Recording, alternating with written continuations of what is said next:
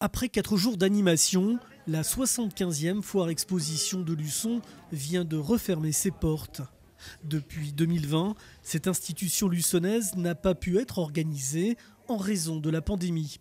Le tout nouveau comité de la foire a beaucoup œuvré avec ambition pour relancer l'événement. Un véritable défi relevé par la présidente et ses bénévoles. S'il est encore trop tôt pour établir un bilan, les organisateurs sont satisfaits de cette édition 2022. Eh bien écoutez, euh, très très euh, heureux de ce renouvellement de la foire. Quatre jours euh, fantastiques avec un temps vraiment parfait. On a eu beaucoup beaucoup de, monde qui est venu sur la foire et beaucoup de gens très heureux. Voilà, on a un retour vraiment positif de la foire, de la 75e foire.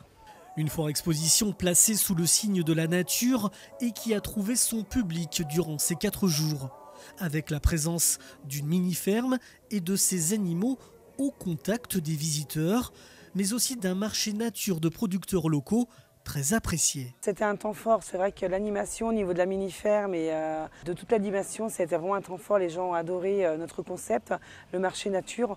On revient un peu aux fondamentaux de la, de la foire expo avec les vieux tracteurs et je pense que ça a été euh, aussi un, un temps fort de la foire qui a été un réel succès. Du côté des professionnels, le bilan est plutôt positif.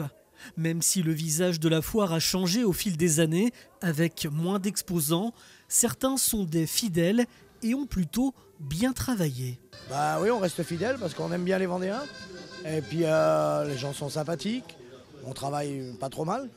Et le climat est pas mal aussi. Enfin, on s'y plaît, quoi. Donc, c'est pour ça qu'on revient chaque année. Vous êtes plutôt euh, satisfait de cette foire exposition Pour moi, oui. Euh, on est à peu près dans les années avant Covid.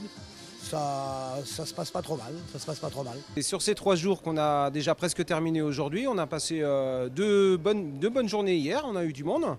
Euh, aujourd'hui, c'est vrai que c'est le, 15 août avec la braderie, donc on a eu beaucoup plus de monde. Beaucoup de promeneurs aujourd'hui, donc on a, on a, on a bien vendu hein, sur, ces, euh, sur cette foire, même s'il y a moins d'exposants, c'est vrai. Mais euh, le monde est là quand même, donc c'est quand même agréable. Pour vous, c'est une foire qui reste intéressante à faire?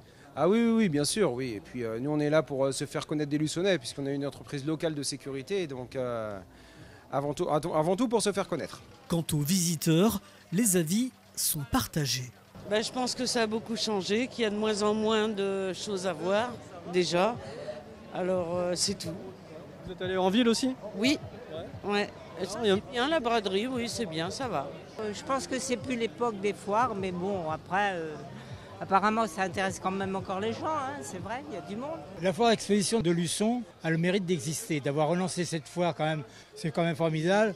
Je dis bravo aux organisateurs. C'est un peu moins nourri en exposant que les années passées, mais tout ça c'est dû au fait qu'il y a eu ces, deux ans d'abstinence.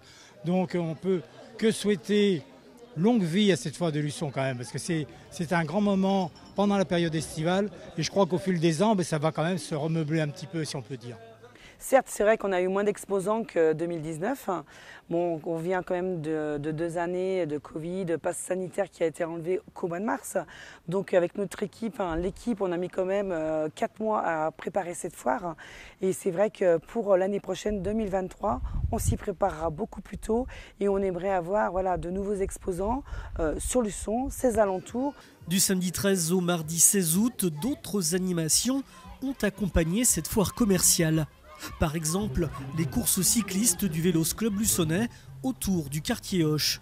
Cette année, 80 jeunes ont participé à cette épreuve régionale. Tradition de plus de 75 ans.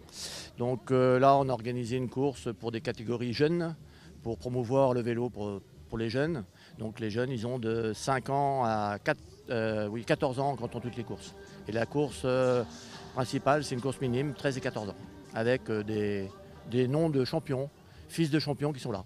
La foire, c'est aussi la grande braderie dans les rues, entre le champ de foire et la rue de Gaulle, organisée les 15 et 16 août par la ville de Luçon. La journée du 15 a été particulièrement fréquentée par le public.